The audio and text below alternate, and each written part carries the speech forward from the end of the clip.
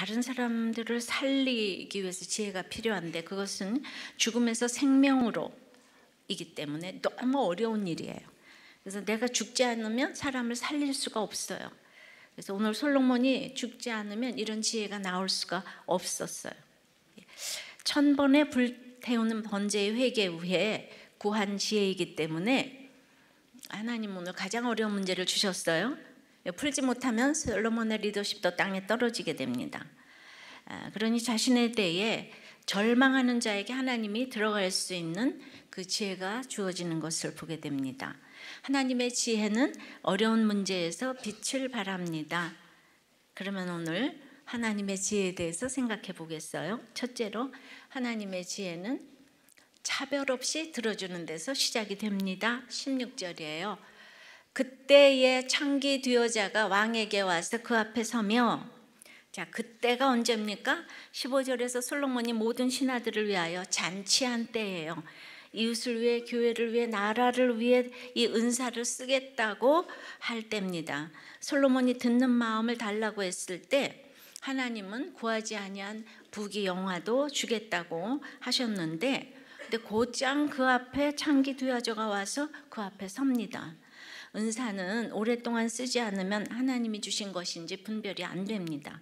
그래서 솔로몬이 듣는 마음을 구하자마자 괴로운 일이 생겨서 은사를 사용할 사용해야 할 일이 생긴 것입니다.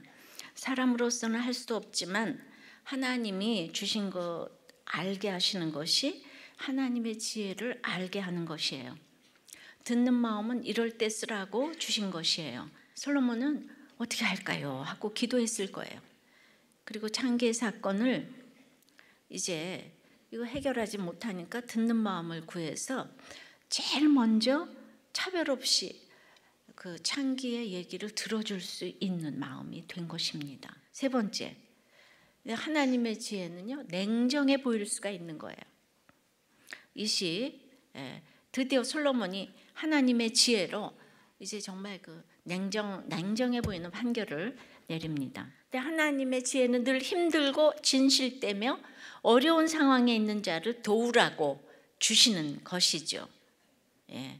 그래서 드디어 칼을 뺍니다. 24절에 또 이르되 칼을 내게로 가져오라 하니 칼을 왕 앞으로 가져온지라 왕이 이르되 사나이를 둘로 나누어 반은 이 여자에게 주고 반은 저 여자에게 주라.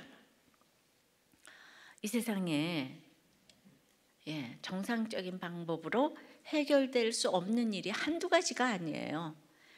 우선 예수님이 빌라도 법정에서 불의한 재판으로 십자가에 달려 처형받으셨어요. 항상 그러니까 구속사를 생각해야 돼요. 예.